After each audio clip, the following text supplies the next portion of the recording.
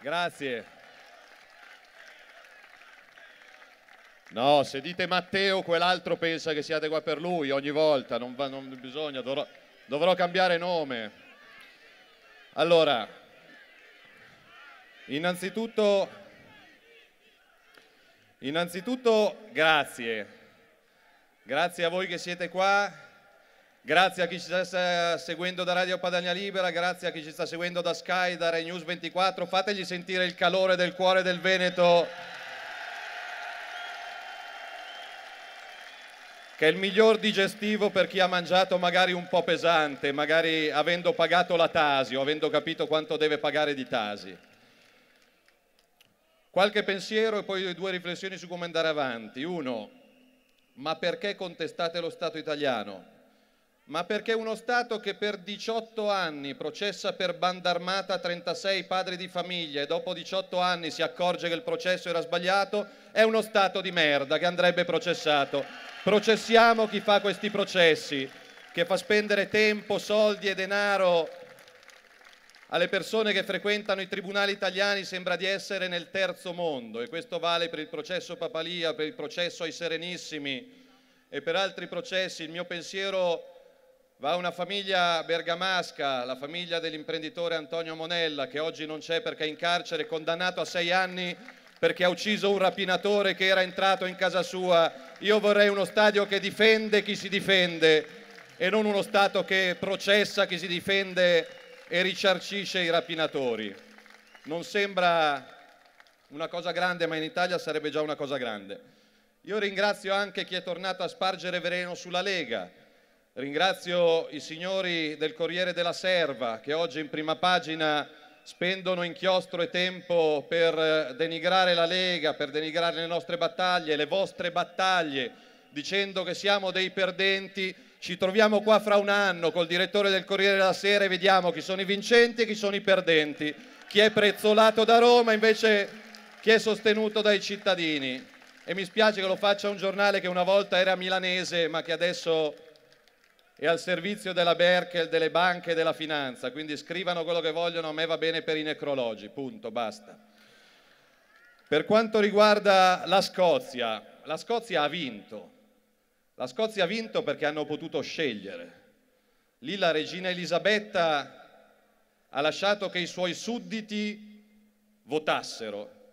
Noi non abbiamo la regina Elisabetta, ma abbiamo Renzi, Napolitano e la Boldrini per i quali valiamo meno di nulla. La Scozia ha vinto perché gente che ha scelto, è gente che ha potuto decidere del suo futuro e anche se hanno vinto i no, la Scozia ha vinto perché Londra è stata costretta a promettere un sacco di soldi, di poteri e di autonomia e siccome oltre Manica sono più seri di Renzi, queste promesse le manterranno. Quindi un abbraccio ai fratelli scozzesi che sono stati un esempio di civiltà, di passione di compostezza, di orgoglio e di determinazione, anche se ci hanno messo 300 anni.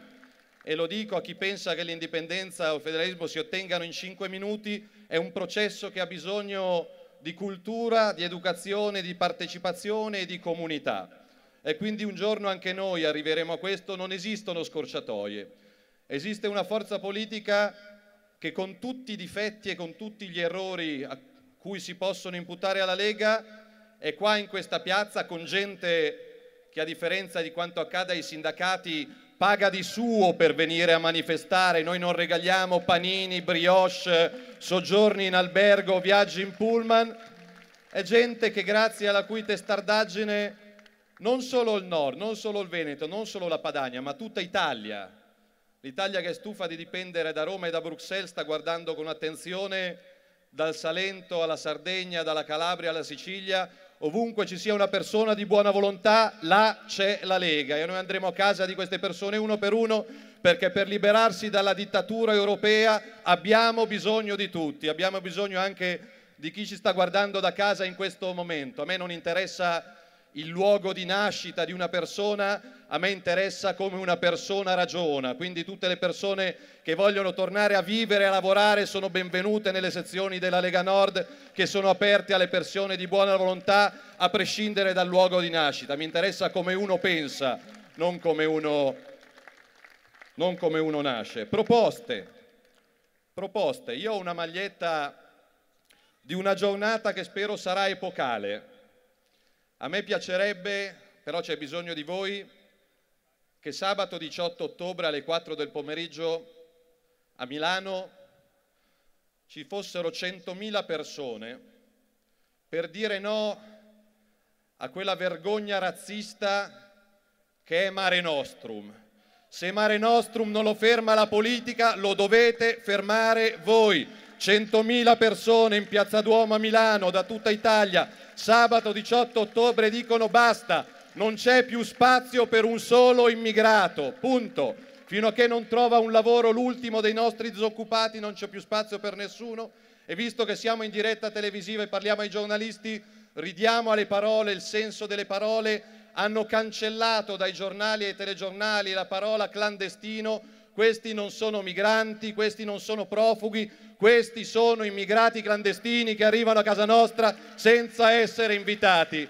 Punto. E non possiamo più permetterci di accettare una vergogna del genere con un disabile che prende 240 euro al mese e un clandestino che prende 40 euro al giorno. Questa non è generosità, questa è coglioneria. E non lo dice un leghista, ma rubo le parole a un grande uomo di chiesa che purtroppo non è più fra noi, Monsignor Maggiolini, vescovo di Como, un conto è la libertà di religione, un conto è la libertà di invasione. Questi ci stanno invadendo, questa non è integrazione, questo è un suicidio.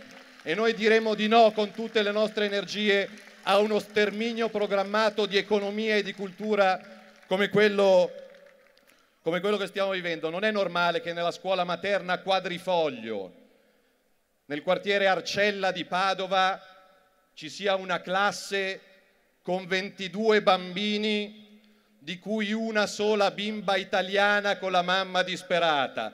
Questa non è integrazione, questo è il suicidio di una cultura e noi non lo permetteremo mai, perché in questa classe si dovrà festeggiare il Natale e il 25 dicembre nasce Gesù bambino, non qualcun altro. Qualcun altro se vogliono lo fanno nascere a casa loro. Qua il 25 dicembre è Natale, punto e basta.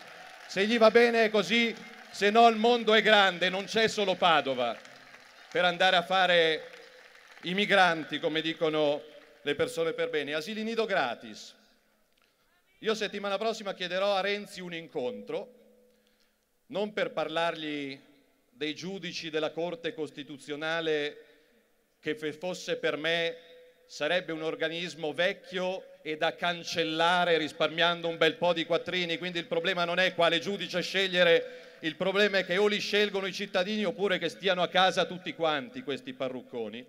E non vado neanche a parlare di legge elettorale, perché sicuramente le hanno provate, le proveranno tutte per far fuori la Lega, ma un'idea non la fai fuori e questa piazza è la dimostrazione che possono fare la legge elettorale che vogliono, ma la nostra coerenza non è in vendita, le nostre idee non sono in vendita. Io andrò a fargli qualche proposta, qualche proposta. L'Italia è il paese europeo che fa meno figli, è un paese che non fa figli, è un paese che muore. Perché? Perché mandare il bimbo all'asilo nido costa anche 600 euro al mese. E se il papà ha appena perso il lavoro, la mamma lavora a tempo determinato, dove li trovi 600 euro al mese per mandare il tuo bimbo all'asilo nido? Cosa fanno all'estero? Cosa succede in Francia? L'asilo nido è pubblico e gratuito fino ai tre anni e se non mandi il bimbo o la bimba al nido lo Stato ti paga la babysitter fino a 700 euro al mese. Quanto costa? Perché Renzi non mi sembra forte in matematica, quindi bisogna spiegargli anche quanto costa. Costerebbe un miliardo e 200 milioni di euro. Togliere un'angoscia a migliaia di mamme e di papà costerebbe un miliardo e 200 milioni di euro su 800 miliardi di spesa pubblica. Dove trovi un miliardo e 200 milioni di euro?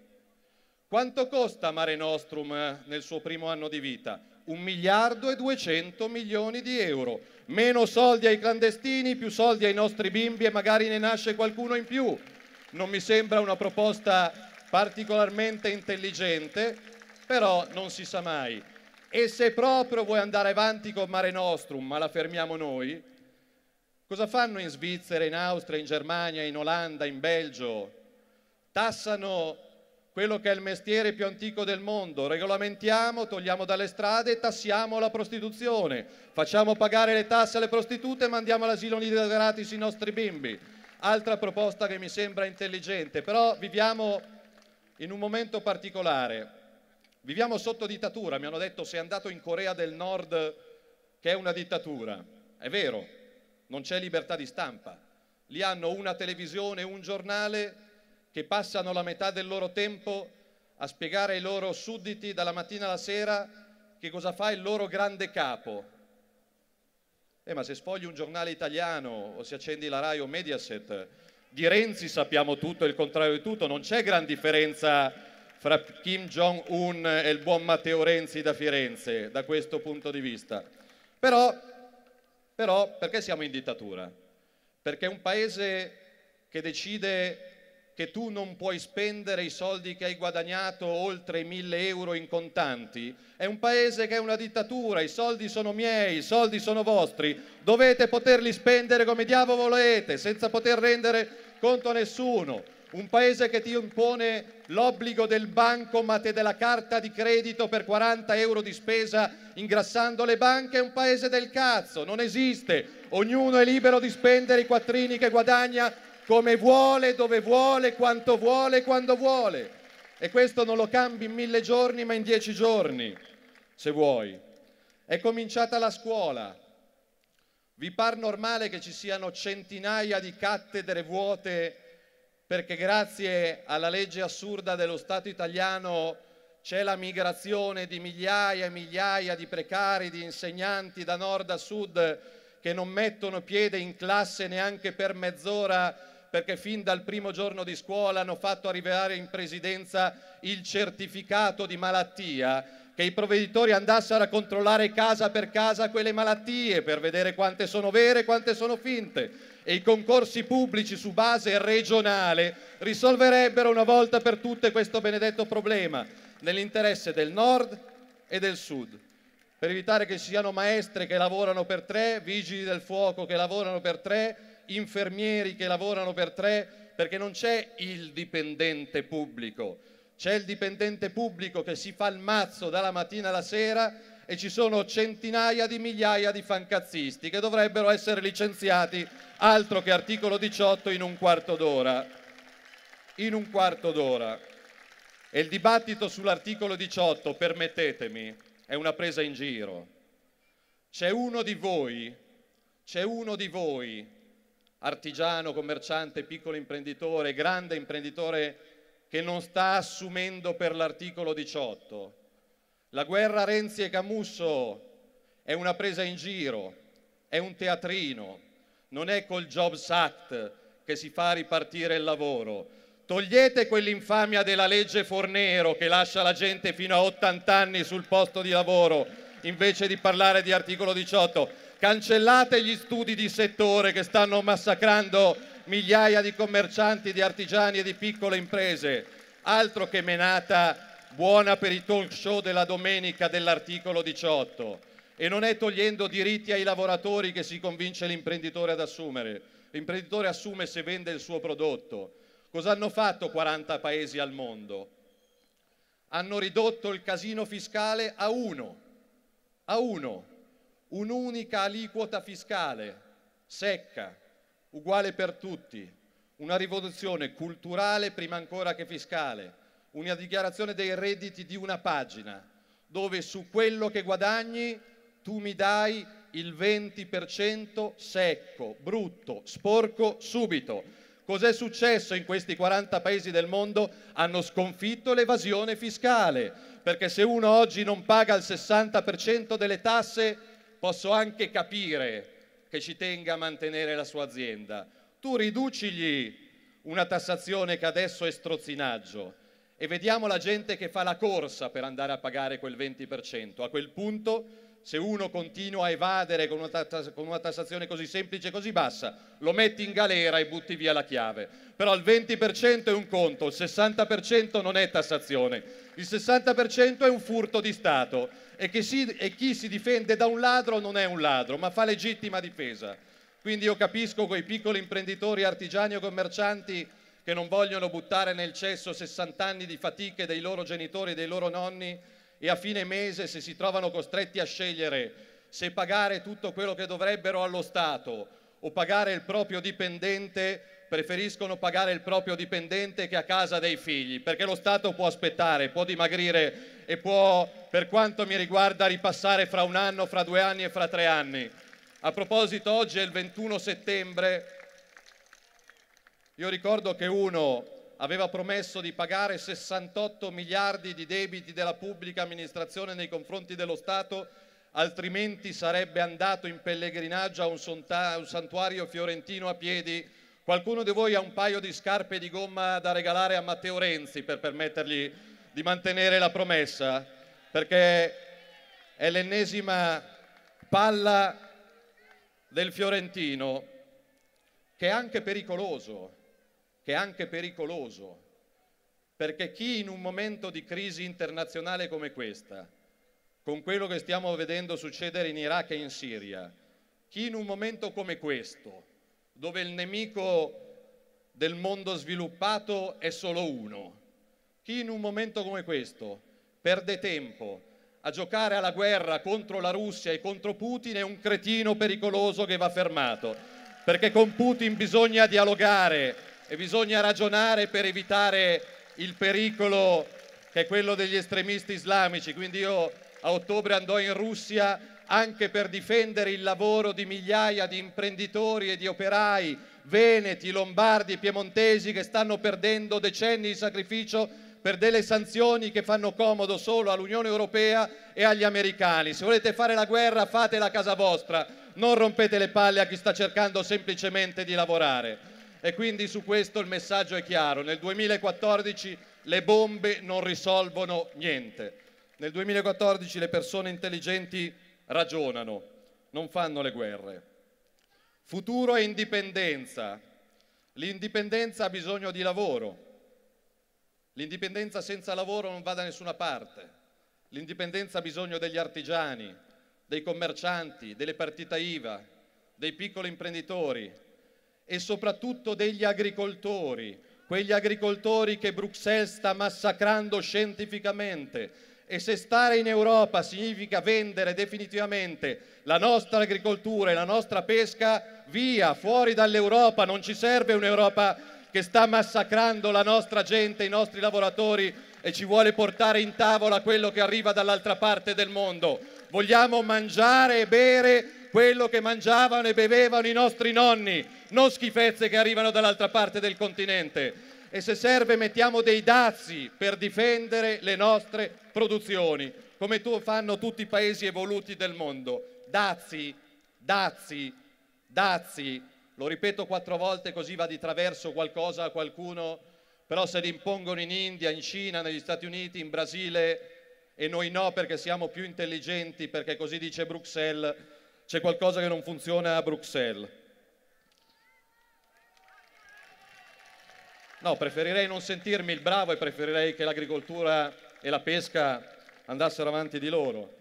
L'indipendenza ha bisogno di un ambiente sano e di un ambiente integro, quindi io ringrazio i governatori e i sindaci della Lega che stanno bloccando altro cemento e soprattutto altri centri commerciali che stanno massacrando la nostra economia e il nostro commercio. Ne abbiamo già a sufficienza, anche perché sono posti che schiavizzano la gente costringendola a lavorare sette giorni su sette e a perdere qualsiasi tipo di contatto col resto del mondo. Io sottoscriverò assolutamente la proposta di legge che vieta di lavorare sette giorni su sette perché a casa ci sono mogli, ci sono genitori, ci sono figli, ci sono amici e ci sono parenti che almeno una volta ogni tanto hanno diritto di essere guardati in faccia. Quello non è lavoro, quello è schiavismo, quello è sfruttamento.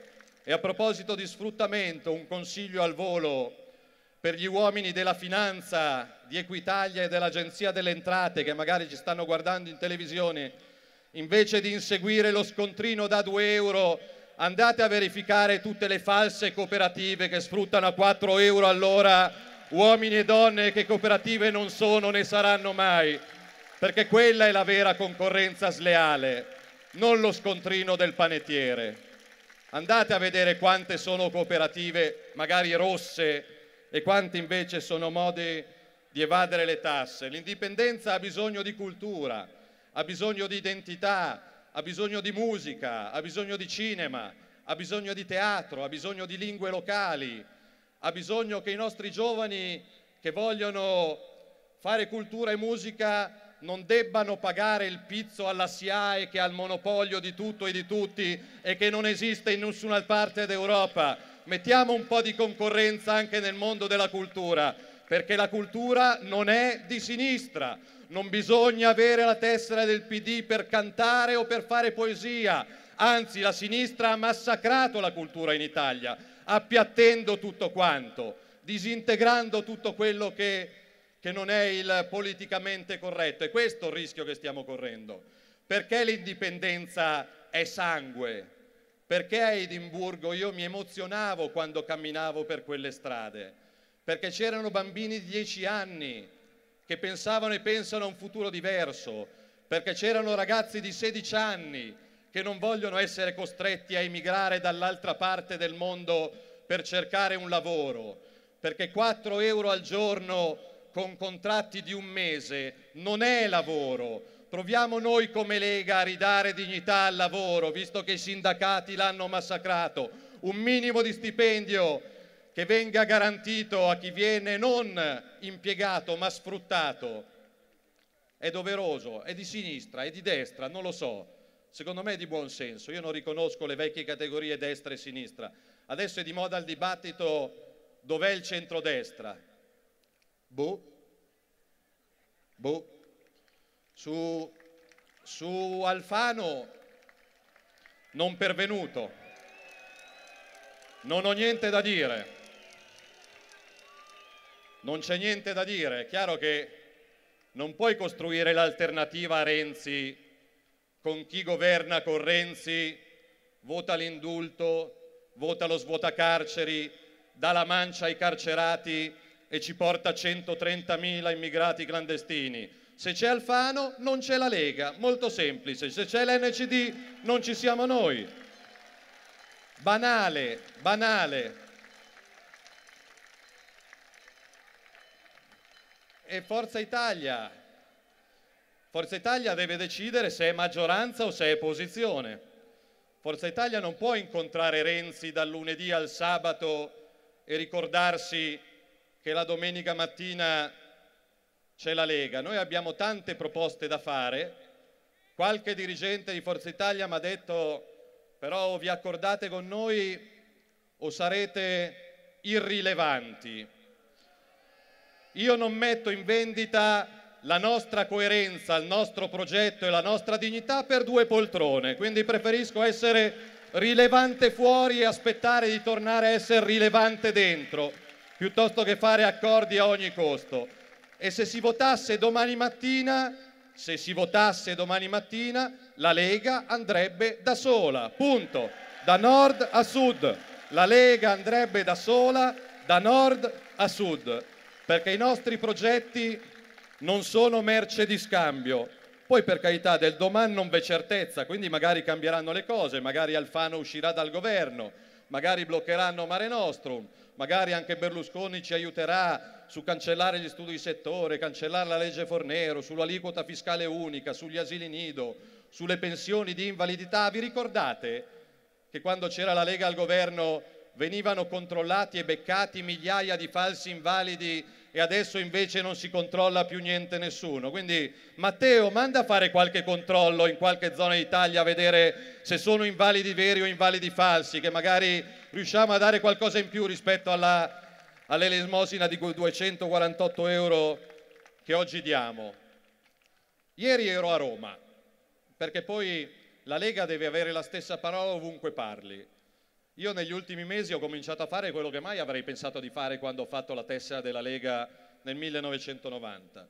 Ho iniziato a essere invitato in tantissime realtà da associazioni, da amministratori, da comunità del centro e del sud, in Calabria, in Puglia, in Sicilia, in Sardegna, dove c'è gente che ne ha le scatole piene della mafia, della camorra, dell'andrangheta, delle processioni che si fermano a fare l'inchino sotto la casa del boss, di quelli che si vanno in giro in tren motorino e non si fermano all'alta dei carabinieri, ma davanti all'alta dei carabinieri ti fermi, perché così funziona uno Stato civile. Prima ti fermi e poi parliamo di tutto il resto. Io penso che la sconfitta della dittatura europea, e non uso parole a caso, perché penso che questa Unione Europea sia stata costruita in maniera genialmente diabolica per togliere qualsiasi tipo di libertà alle realtà locali, per sconfiggere questa dittatura mascherata da democrazia, noi abbiamo bisogno delle energie pulite di tutta la gente per bene. E quindi noi siamo e saremo orgogliosamente Lega Nord per l'indipendenza della Padania e non cambiamo nome, non cambiamo simbolo, non cambiamo bandiera, non cambiamo statuto e non cambiamo obiettivi. Ma se nasceranno, come nasceranno, dei soggetti che si ispirano alle nostre idee di libertà, alle nostre battaglie, sarebbe sciocco ed egoista da parte nostra dire no, non mi interessa.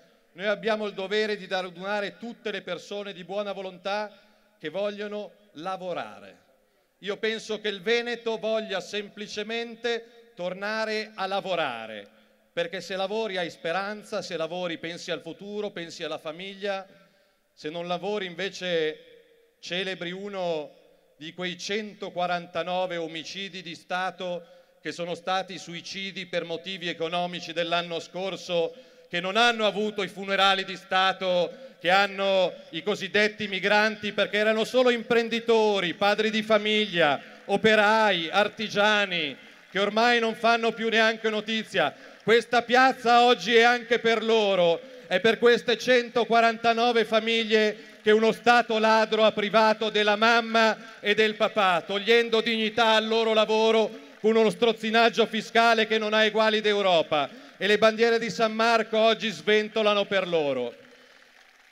E mi piacerebbe che chi ha a cuore le battaglie per l'indipendenza e per l'autonomia non si dividesse in 18 gruppuscoli e sottogruppuscoli. Divisi non arriviamo da nessuna parte. Chi ha voglia della libertà deve mettersi insieme e rinunciare agli egoismi o agli orticelli personali, altrimenti a Bruxelles e a Palazzo Chigi se la ridono della grossa. Chi vuole il Veneto libero deve dare una mano alla Lega perché noi ci siamo arrivati e ci arriveremo, altrimenti divisi non andiamo da nessuna parte. E questo vale per i sardi, vale per i salentini e vale per i lombardi. E noi ci arriveremo. E chiudo, ci arriveremo perché la nostra idea non muore, ci hanno provato in tutte le maniere, diffamandoci, comprando, promettendo, illudendo, processando. Non ci hanno fermato, perché la libertà o ce l'hai dentro, o vuoi tornare a casa la sera da tuo figlio a testa alta, non perché hai rubato, non perché hai evaso, ma perché hai lavorato e uno Stato normale ti lascia in tasca almeno la metà dei frutti del tuo lavoro. Io penso che l'egoismo non sia quello dei veneti, che per reazione e per storia, a proposito, ricordiamolo a qualche giornalista un po' ignorante, che la Repubblica Serenissima ha qualche secolo di storia alle spalle che qualcuno si dovrebbe andare a studiare prima di andare in televisione a dire cazzate.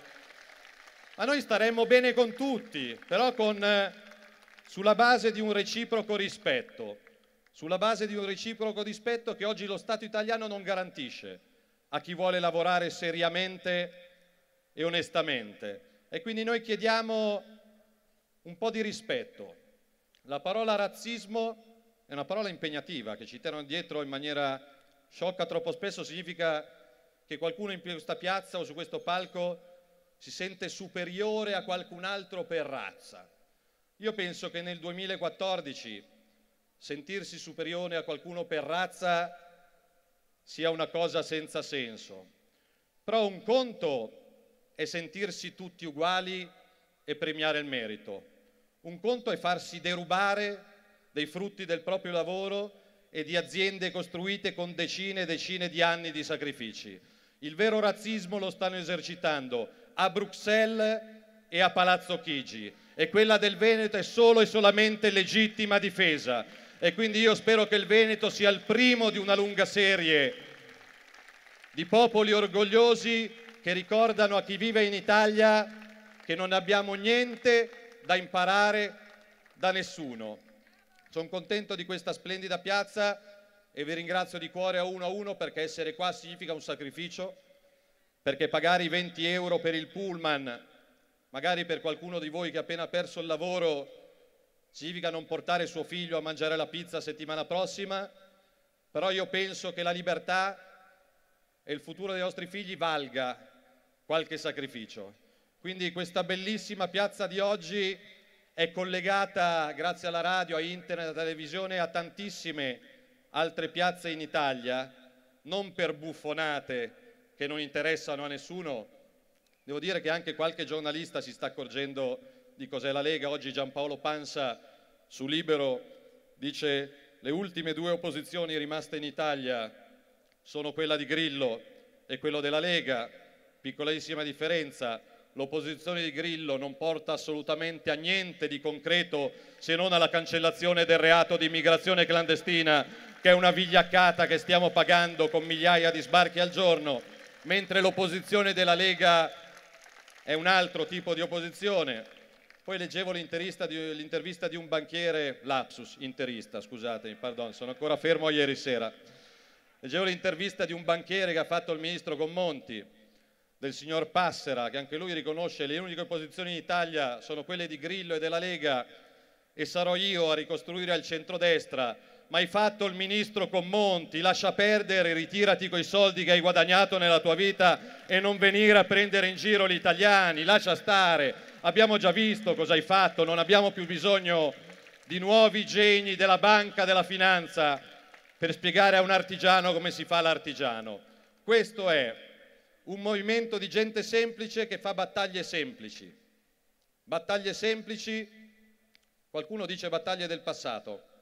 No, noi abbiamo detto di no alle adozioni gay, perché l'indipendenza ha bisogno di una società e una società ha delle regole ben precise.